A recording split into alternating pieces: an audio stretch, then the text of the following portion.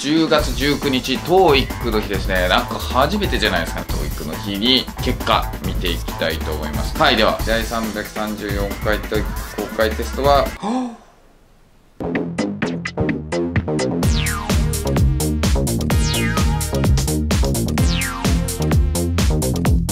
はい、始まりました。もちチャンネル。さあ、公開ですね。はい、10月19日、TOEIC の日ですね。なんか初めてじゃないですかね。TOEIC の日ってちゃんと動画で言ってやるのは初めてな気がするんですけど、はい、そんな今回 TOEIC の日に結果見ていきたいと思いますね。まあ、とね、この動画が出る頃に私ね、もうガシャポンを探しに TOEIC のガチャガチャですよ。はい。を探しに行ってる頃だと思うんですけど、そこで果たして本当にね、ちゃんと買うことができて、それをコンプリートすることができたのか、そしてちゃんと動画に収めることができたのか、よくわからないですが、はい、多分やってると思います。東京駅に行く予定あるけどなその後移動しなきゃかな多分。はい、では、テスト結果見ていきたいと思いますね。えー、っと、第何回ですか ?2023 あの、10月1日にやったやつだよね。10月1日は、10月2回やったんでしたっけ？そうだよね。わからんよ。とさ、こういうの TOEIC って見づらいんだよね。わからん。いや、結果見ます。はい。10月1日の TOEIC。結果は、ちょ、はい。満点でございます。やりましたはい、ここ見れば第334回ですね。はい、第334回と公開テストは無事満点でございました。はい、やったで、108回目ですね。はい、108回目の満点取ることができました。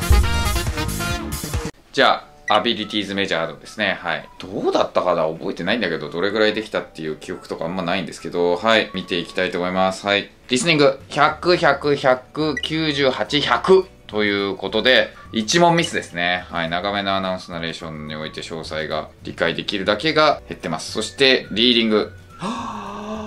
全問正解だ !100、100、100、100。あー、惜しい。そうかー。これは全問正解いけたな完全なる。もったいなかったな残念だ。はい。くわー。で、まあ、もうあと、だってね、紙も11月で終わりだもんね。届くのも。あと、10月。10月はね、2回目ありますから。2, そう2回あるんでね。それで、11月と、で、この後2回で終わりですね。もう紙の TOEIC の結果ともお別れですから。はい。で、まあ、今日はね、 TOEIC の公式問題集のね、発売日でもありますから、それもまたやって、どういう感じだったかのね、レビューとかもしたいと思っております。はい。これからも TOEIC 受験頑張りますので、ぜひとも皆さん応援してください。はい、ご視聴ありがとうございました。Thank you for watching.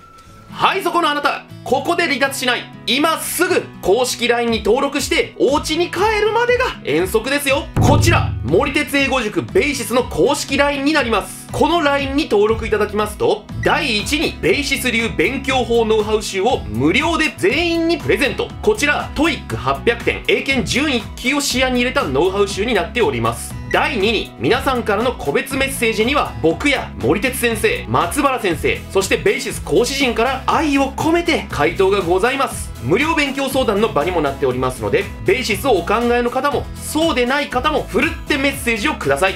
皆さんからの LINE 楽しみにお待ちしておりますよ。